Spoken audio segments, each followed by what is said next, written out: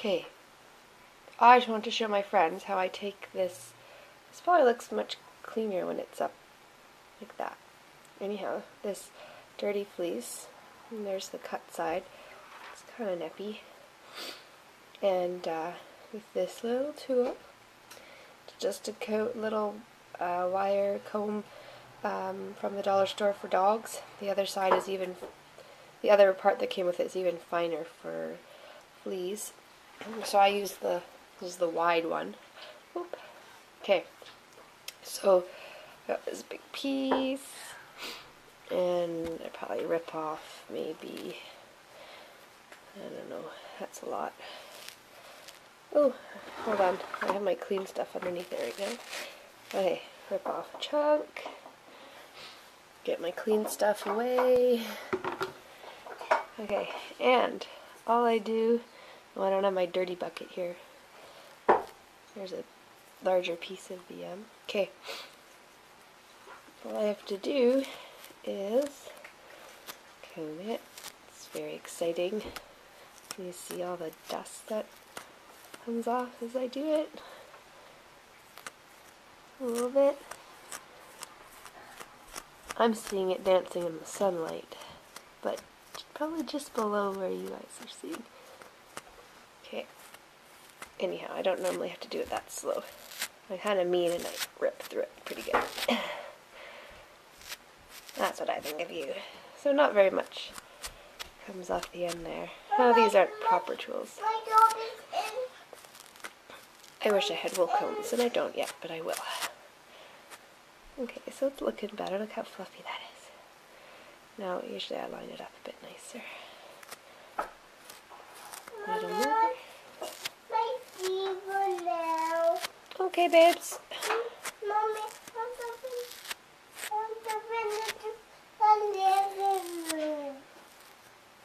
Ooh.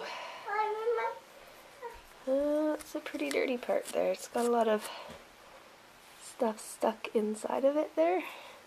Little bits. Actually, that's what most of my fleece is like, with all that little bits. But I discovered... Ta-da! Course, normally I would be doing it so it wouldn't fall into itself. Instead of trying to hold it way out in front of me and in front of a camera in lighting on a covered day. Cloud covered day, I should say. Okay, so I have a bit more waste now. I haven't got to the other end. And then I just check which way does that lock go. Oh, it goes up here.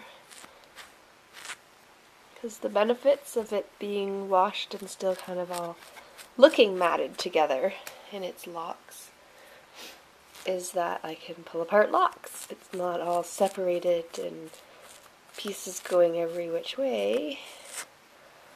So I can keep it together. It is really hard on my arms to do it this way. So far away from me. Okay. And now this is the cut edge, so it tends to have more of the short bits and the second cuts and this stuff gets all brushed out and I have to stick my finger behind. It's kind of like, I don't know.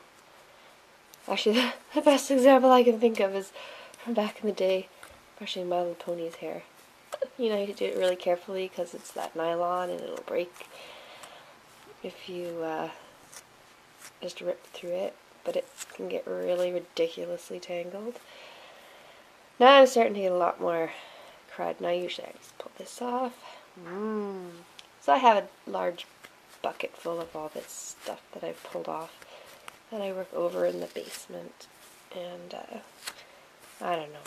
Could clean it, I guess. Try to get some of the, but I brush right into it, so it's got a lot of the dirt in it and debris. I could try to, I don't know, separate that out and use it for stuffing or whatever. But uh, I probably won't. I'll be honest. There's so much of it. Maybe with a future fleece. um, but seeing as how I have all the fleeces to work with, uh, I'll just compost it or something. Okay, see, that didn't take much. This is actually taking longer than it normally would. Now, because it's got a fair bit of lanolin still in it. Tends to be kind of um, sticky bit still in the middle where I was holding it, which I wouldn't have this problem if I was working with proper tools that don't require me to hold it. Um, but if it's really bad, if I can still find like tangles, I'll work it out, but generally just separating it by hand at this stage. Just kind of fluffing it up a little.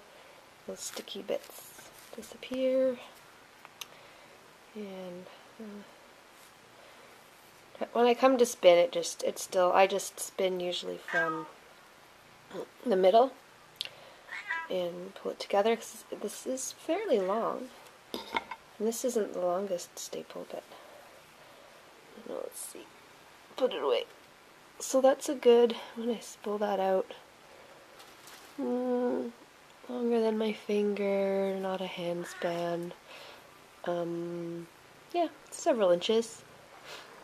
So with it already being very much stuck together with its own crimp and the lanolin and the fact that I haven't fully properly separated all that, I've tried, if I try spinning it from the ends, it doesn't uh, draft very well, but if I spin it from here, it drafts.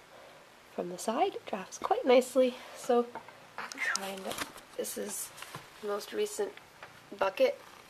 See? That's the larger size at the dollar store, Dollarama. That's Fenwick's tail. And then I'm just finishing up one bobbin. So I had about this much, well, a little more full maybe. I don't know, how about that much? and because I squish it down pretty good. And fill filling up, and I'm going to do another one. And I'll apply them together. And you should have seen pictures of some plied stuff earlier. There you go, people. That's all the fleeces being spun up. Oh, here. I'll tip this. I'll put this on the end. This is one of the skeins of all the fleeces. Um, I didn't grab it very well off of the table. Finished drying recently. So that was probably two half bobbins spun together to make almost a full bobbin. Not as much. This was my first bit of using this nicely combed, not so dirty, not so full of VM stuff once I figured out that this really simple comb and just kind of combing both ends made for really lovely bats and if I spun them from the middle they came out uh, really really nice. So I am happy. And oh yeah I tried carding them and carding this stuff does not come out nice at all. So I will keep doing it this way and hopefully get wool combs.